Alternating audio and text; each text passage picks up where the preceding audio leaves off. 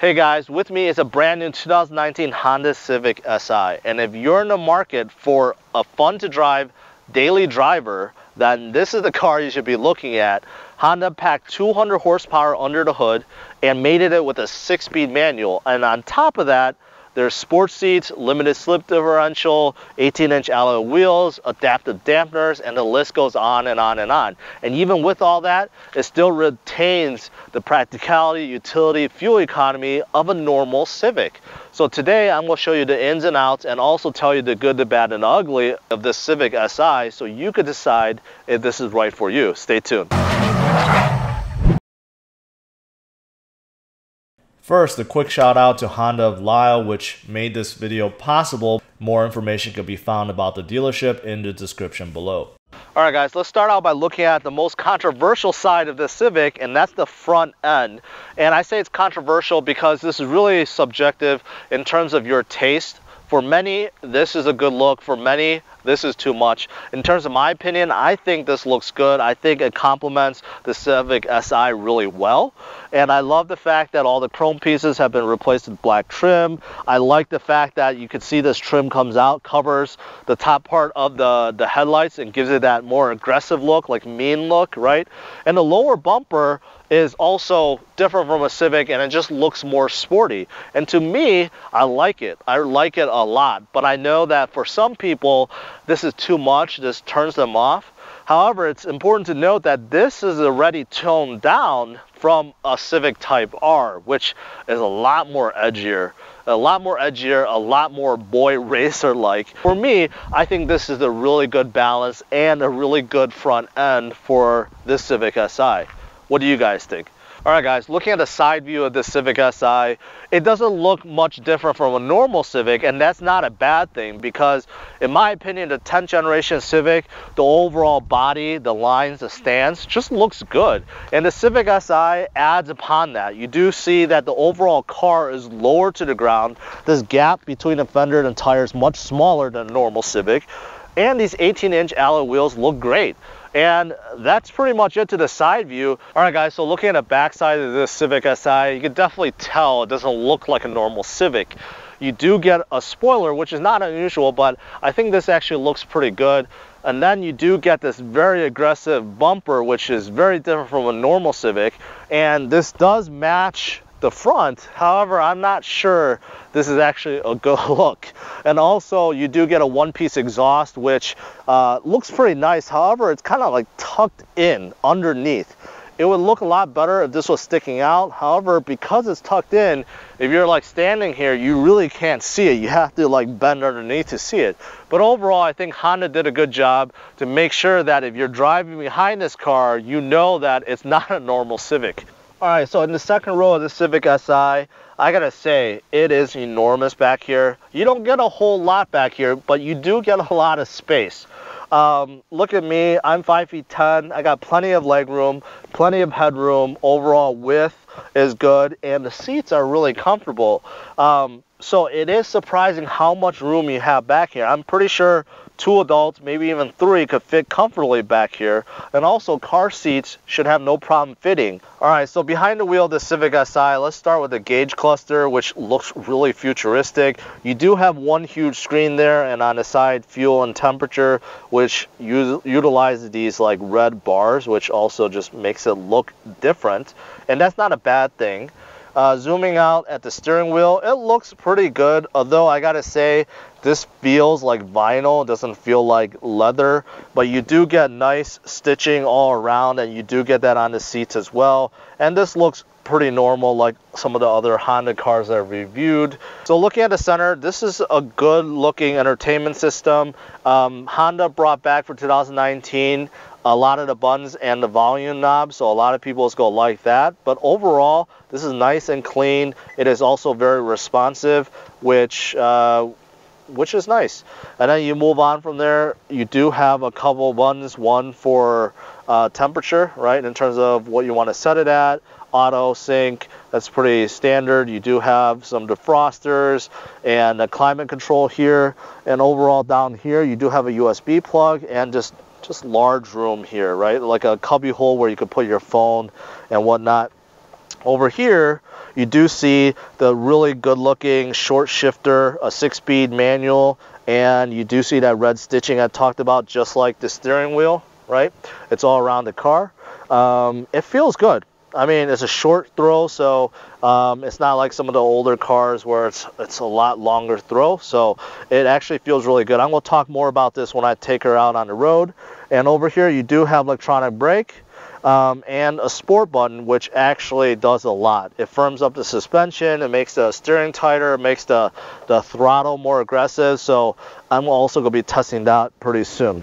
Now, moving on over here, this is where it gets interesting because normally you would just have a large bin over here, right? And you do still get that over here.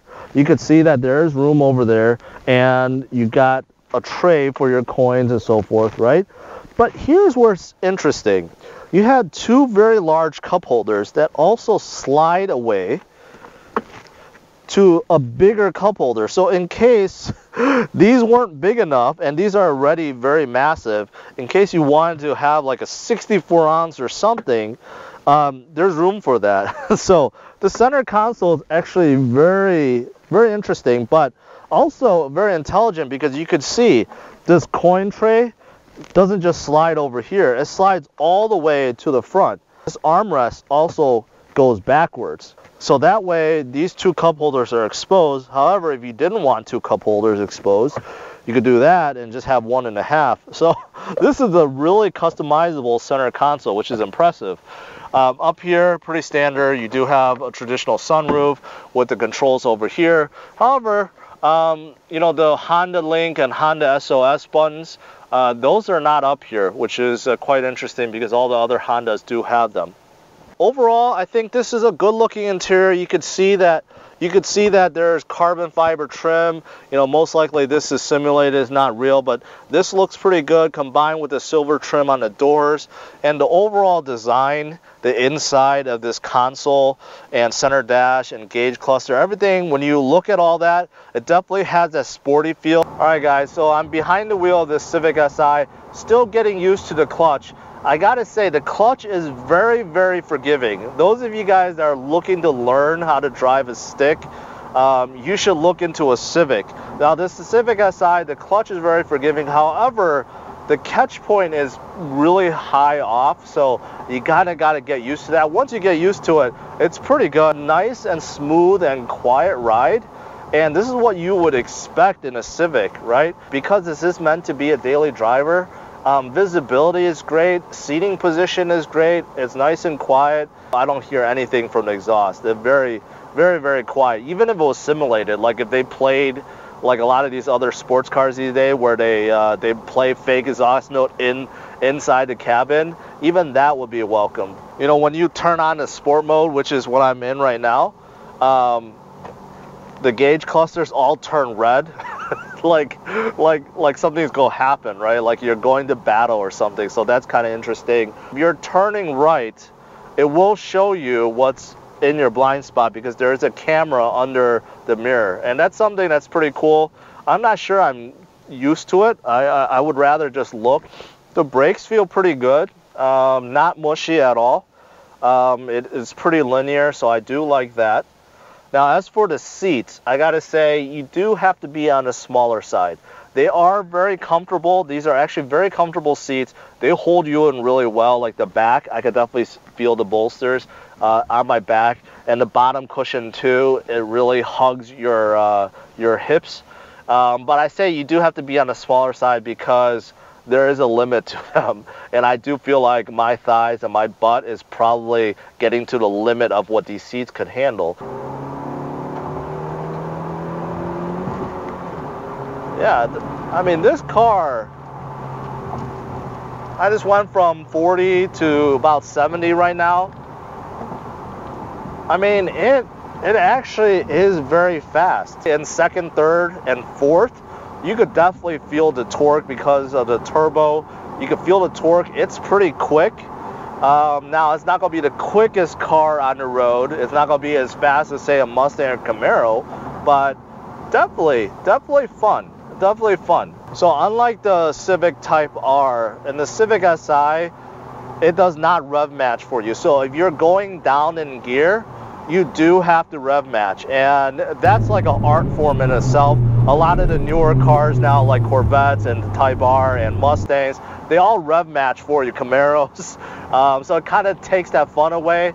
Um, that is something you still have to do in a Civic, uh, in a Civic Si. We live in a world right now where everything is is being dumbed down, right? In terms of cars, everything is automatic, semi-automatic, paddle shifters, CVT that's simulating, shifting gears, all this stuff, right?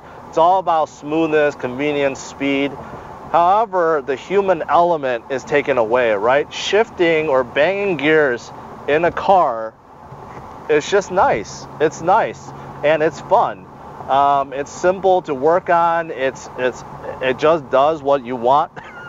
um, so it's nice to drive a car that still has a manual gearbox in it. All right, guys let's conclude with the good, the bad, and the ugly about the Civic Si. In terms of the good, there's a lot. Um, because this is the SI edition, you do get the sportiness on top of a Civic. And that is a really good thing because the Civic was meant to be a daily driver. You get the practicality right? You get the utility, you get the fuel economy, and it's affordable. And the Civic Si just builds on top of that. You get more horsepower, over 200 horsepower, which gives some life to the Civic and it's actually pretty quick. The six-speed manual and the clutch is great. It makes your drive a whole lot funner, uh, a lot more engaging, and the clutch is one of the best in the industry. The seats is very supportive and it's quiet. The visibility is great. Steering feels great. Acceleration and brakes also feel great. The last thing is the exterior, which is controversial. You know, some people may like it, some people don't. For me, I like it, and I think that it is a really good balance between a normal Civic and a Civic Type R. Now, in terms of the bad, there's a few little minor things. Like the back bumper, I'm not a fan of. I know that they were trying to make it look more sporty. However, it just kind of looks weird with the black panels on each side. Um, the chrome exhaust should be sticking out more. And then moving to the back, it's kind of plain back there. There's really not that much, not even vents. This vinyl on top of the steering wheel feels a little bit cheap to me. But outside of those little things, there's really not much to it. In terms of ugly, I don't see anything that needs to be changed or fixed right away. And that's it. Lastly, let me talk about the price. This Civic Si comes in at $25,000, which is really affordable because if you look at the next step up, which is a Type R, which many dealerships are selling above MSRP, you're talking about forties to fifty thousand dollars. So you could get two of these SIs for the same price as a Type R. And to me, this is definitely the better value. All right, guys, that's it for this review. Make sure you hit the likes and subscribe to the channel so you don't miss out on any future videos. Take care, guys. Bye-bye.